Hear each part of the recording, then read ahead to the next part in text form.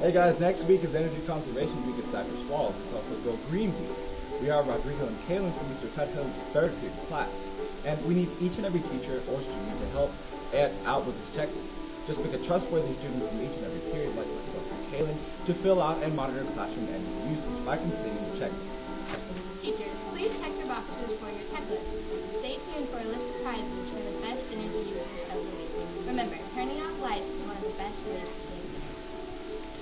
Calculate your savings by turning down the lights using the form at the bottom of this checklist, and if you do fill it out, you will get extra points, teachers. Thank you.